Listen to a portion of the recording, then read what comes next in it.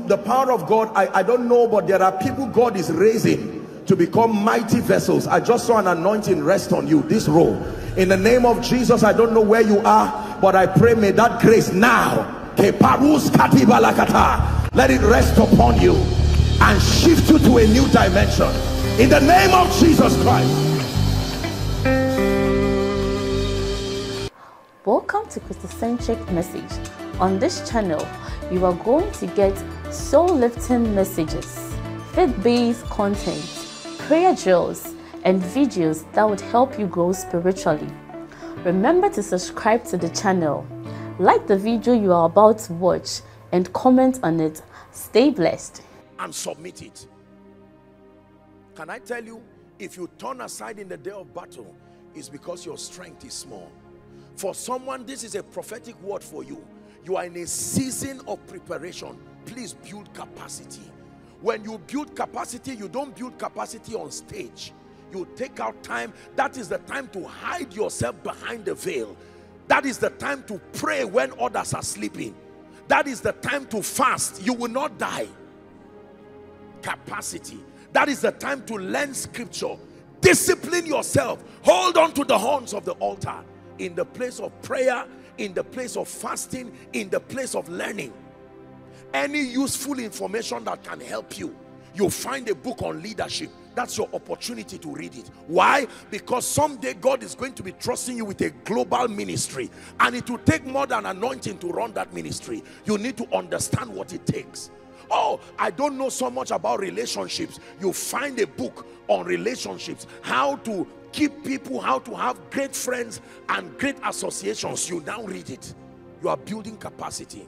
Look up, please. Jesus spent 33 and a half years on earth. You can break that those 33 and a half years into four compartments. There's no time to teach it this night. But do you know that a major part of Jesus's life was not spent doing ministry. It was spent preparing for ministry. From age 12 he was already in the temple and till age 30 when he came to be baptized and ordained by John and he used three and a half years. Look at the ratio of preparation to manifestation. 12 30 minus 12 is 18 years at least. 18 solid years of preparation. How about the apostles? From the time he called them as disciples he kept mentoring and building them not impartation. Look at the ratio of teaching to impartation. Three years to one night impartation will not profit you much if your mind is not full of useful information. It is the level of your transformation and the quality of information you have that gives the power upon you credence there is a way you can be help them please. There is a way that you can be anointed. You will look like you are a fake prophet even though you are genuine. Why? Because the level of intellectual soundness spiritual soundness that will help you maneuver the anointing in a scriptural way is not there. There are many genuine people who look like devils not because they are bad but because they did not take out time to invest in knowledge there is no problem with the oil. The problem is the pot. The oil will always assume the shape of the vessel. If the vessel is small, it will make great oil look small. It's time to borrow vessels. He said, borrow not a few. Listen, for some of you, after tonight, just pause a bit with all these buying shoes and hair and all of that. Go to a bookstore and say, For God's sake, may I be fair to my destiny and my children and my children's children. You buy the truth and you sell it not. You can't have a room full of clothes and shoes and you have one small Gideon's International Bible that was given you as a gift that only has a New Testament. They gave those things to encourage sinners to come to the saving knowledge of God. You that wants to now lead a church who will sit down with you when they are all better than you?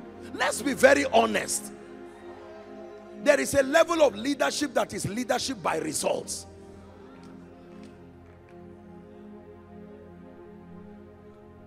We'll find somewhere to stop. Season of preparation. Can i tell you? Run away from anybody who does not have a history of this season of preparation. I don't care how great, I don't care how mighty. If you cannot find a track record of a season of preparation, something is faulty with that pattern. You don't have to fight. You don't have to condemn. You don't have to cause trouble. But I can tell you, the moment your structure is not built on this pattern, something will eventually happen. That which I tell you in the secret place, that is what you will declare upon the mountaintop. Are we together? You discover God and you know Him. You discover yourself. You discover your giftings and your abilities. You discover your place in life and destiny. Then you now begin to build capacity, refining your gifts. Now is the time if you need to go for training, go. Whether spiritual or secular, stretch yourself to the limit. So that you are not a workman that needs to stand in shame angry with people and there are many people who miss these seasons. They were laughing at those who were preparing. It took over 100 years to build the ark that saved the people for over 40 it was for 40 40 days huh? Thereabout. Rain that was coming for 40 days caused a lifetime disaster and yet it took over 100 years to build that ark. Everybody say preparation can I tell you? Lamentation chapter 3, I think, verse 27 or so, it says, It is good for a man to bear his yoke in his youth. Destiny is time targeted. Every time is not convenient. If you know how to play football at 80, you will play in your house alone. No matter how professional, even if it is true that you are greater than the greatest footballer, you just don't have that advantage. So then teach us to number our days that we may apply our heart on to wisdom. Let me introduce the second season and then we'll wrap up for tonight. We'll take the third together with the impartation probably tomorrow. The second season in your life, are you ready for it? Is called the season of testing or proving.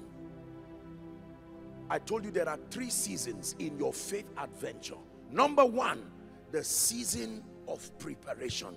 I listed for you the five things that must be captured in this season. So that if you know you are in your season of preparation right now, you go back and do this as a checklist. What am I missing? Ah, I love God, but I've not discovered myself. I need to do it fast.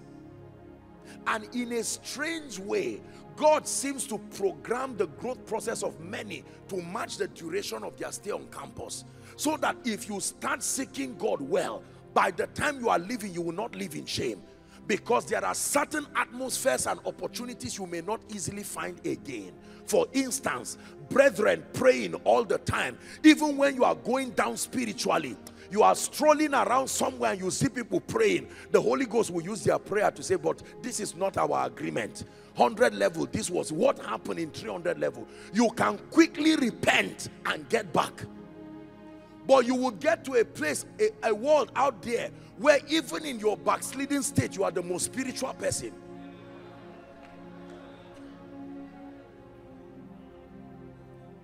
Please write this, the season of preparation. We have to wrap up.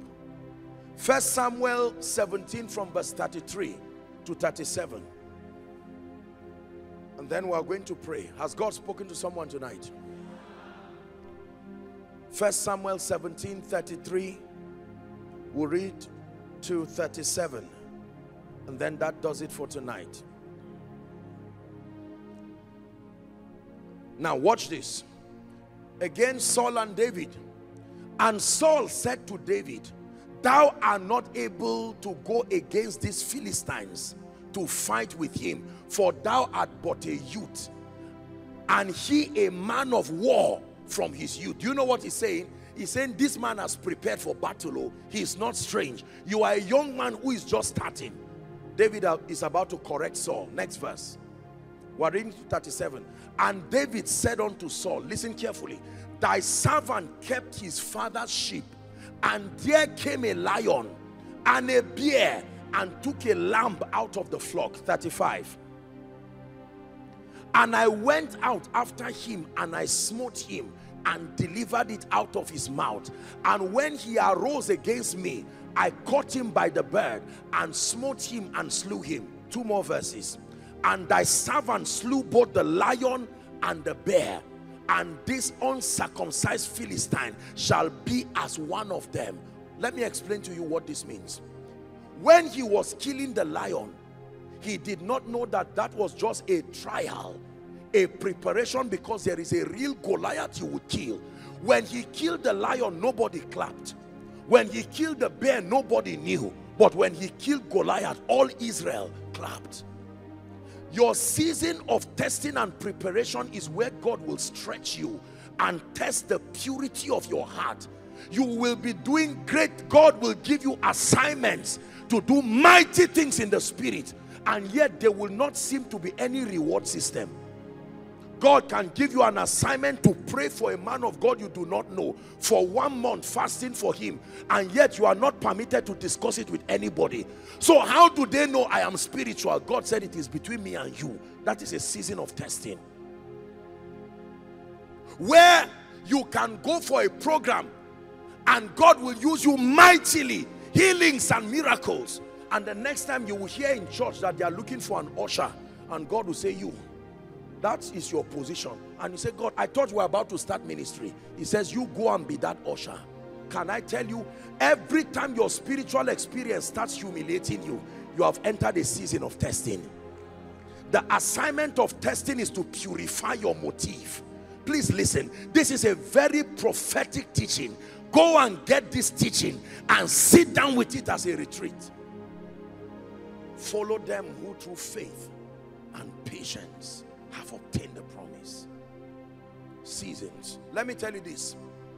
There was a time in my life where I prayed and fasted. I was going for a program.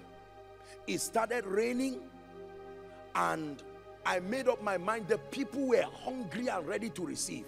It was not too far from where I was living and I stood there in the rain. I would refuse that program or go. You know, it was all within my power, but I made up my mind that I was not just going to let things go like that. I remember going out in that rain with my Bible. As the rain was pouring on me, I was going, I said, Lord, I love you with all my heart. I'm not doing this because I'm looking for a name. I sincerely want to see your people blessed. Nobody knew Joshua Selman. Nobody was going to give me anything. Do you know when I got to the church, there was no seat for me. They were already jumping, preparing to act drama. It was when they told them I had come that they quickly shifted me in and then they now shifted a few people in front and said I should sit here. And then after drama of over 45 minutes, they sang, they jumped, they enjoyed. When it was time to come up, they just passed a little paper and said, please, I have 15 minutes. I should just manage it and round up. You can be angry and say, do you know how many days I fasted for this meeting? Seasons of testing beware of offense when the anointing starts speaking. Sometimes God allows certain things to happen to prune you. You may think you are going to be the president of the fellowship. Suddenly they will say you are the chief protocol. And you say what kind of thing is this? I was already traveling and going to preach in youth meetings and preach in vigils. And when they were looking for a music director that time in FCS the people were even afraid. They said, no, no, no. How, how, are we going to tell this guy to be music director? This is somebody who is teaching us. And I remember when they called and said they are looking for a music director, the Holy Spirit told me you will be the music director. I told them, I said, with all joy, if it's to serve my king, I will serve him. The guy who was going to be the music director for the band, because the choir, the main choir was different from the band, he refused to accept the position because I was the one teaching him. It's like a father and a son now because of the fellowship now has a position. I told him, I said, serve with honor. When we are outside of that circle, you can do all of this. But within this time, you must serve God. And God sees my heart. I serve with all my heart.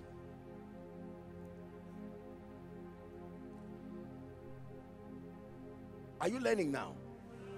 When you are too big to be tested and proven, then you are too small to be to be a great vessel that God will use. Many people have aborted. Many people did well in the season of preparation. But when they got to the season of testing, offense and pride and anger, they said, is it that this man I'm in this fellowship, this guy that is preaching, we are all seeing that he's preaching nonsense. And I'm here seated. What is the meaning of this? And God says, sit down and make sure you come to church early. And you sit quietly there. Then when they want to use an example, they will now use you as an example. They will bring somebody else who just got born again one year and now come to act drama and maybe a comedian or somebody who is joking. He will now call you out and use you for an example and you'll be like, my God,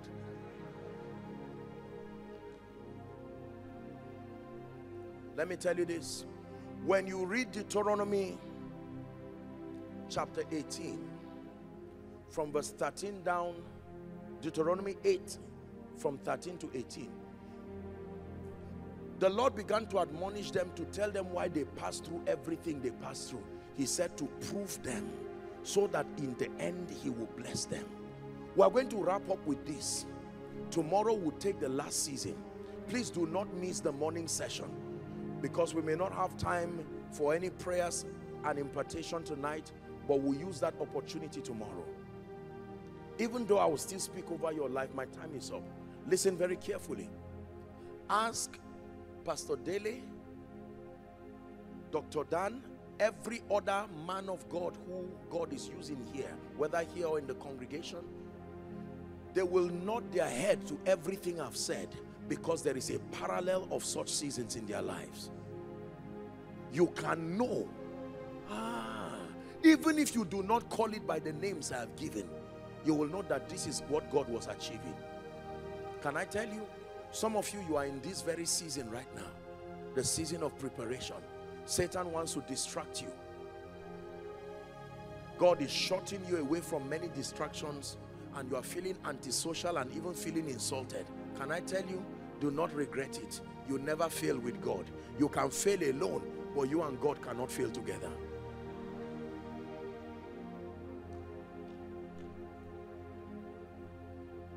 I believe that the next Pastor Deles, the next great men and women, Reinhard Bonnke's, T.L. Osborn's, are scattered within this place, but claiming a man's status in the spirit without submitting to the precepts that brought the person there is only flattering yourself. He said, if you are children of Abraham, you will do the works of Abraham. Hallelujah. My call for you tonight, therefore, is to know that 25 years is not just a passage of time.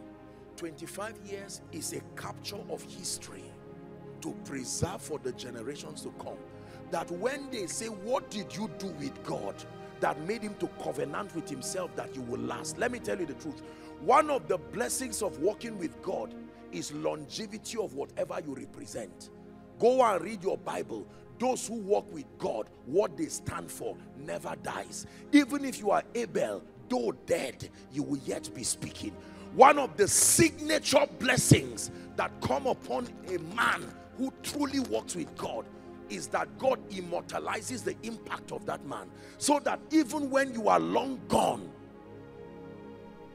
Today, Reinhard Bonnke is long gone. Today, T.L. Osborn is long gone. Today, Billy Graham is gone. Today, all these great men have gone. Myles Munroe, all of them gone. But they are still alive. Alive in us, alive in books, and alive in time. We can choose any one of them.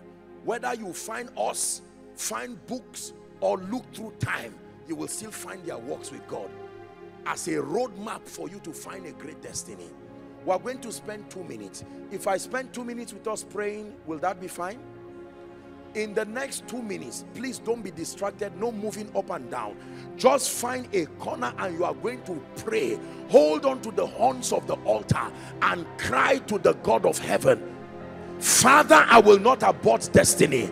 I obtain grace to maximize this season of preparation.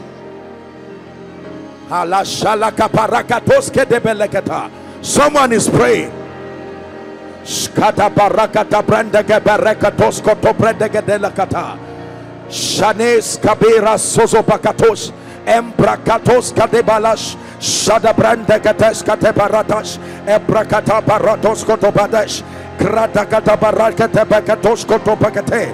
Menta baratos kata brada kata barakatos koto bregete. Pray. Lekete barakatos kete balata. Grace to seek you. Grace to press. Grace to press. Grace to press. This one thing I do, forgetting the things that are behind and setting for the things that are before me, I press towards the mark of the high calling in Christ, looking up to Jesus, who is the author and the finisher of our faith, who for the joy that was set before him endured the cross and despised the shame. One more minute, someone is praying.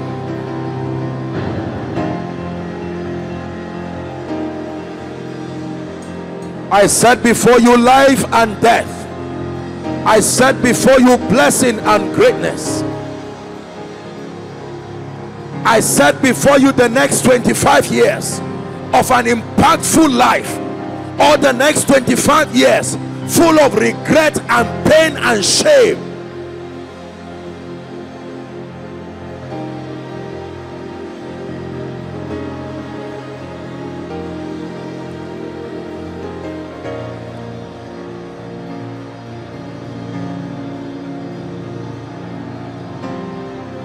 Hallelujah.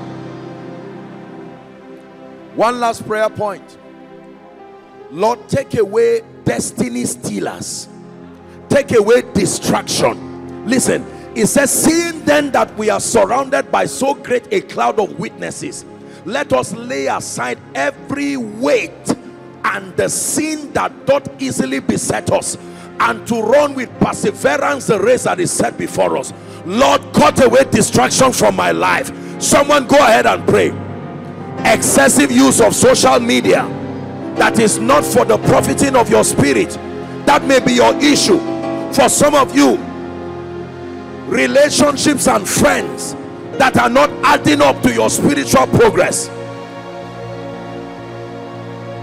For some of you, ungodly media content and consumptions that eat up the health of your spirit man for some of you prayerlessness. For some of you wordlessness. No prayer no fasting.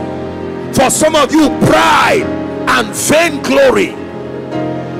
I am a pastor. I am an apostle. I am a prophet. I am this and that. For some of you dishonor. Dishonor to your superiors spiritually. Dishonor to fathers dishonor to principles.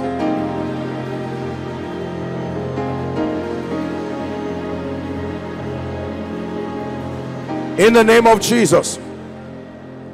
Please can I give you let me give you an assignment tonight. I want you at the request of your pastor is a personal assignment.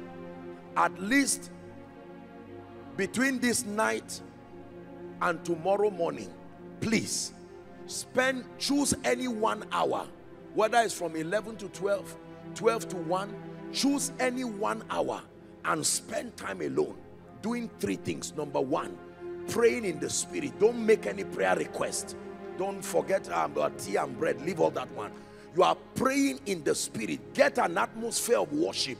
You can go online and download anything or find someone get a tape playing something and pray in the spirit write out all these things the tools for your destiny some of you notebooks that the Holy Ghost revealed things for you go and look for them this night all those old notebooks you have forgotten gather them tonight some of you may need to repent before God personally and say, Lord, my life is not the way it is. I can't keep lying and pretending. I don't care whether you're a president, whether you're a pastor. That's not what I'm asking you.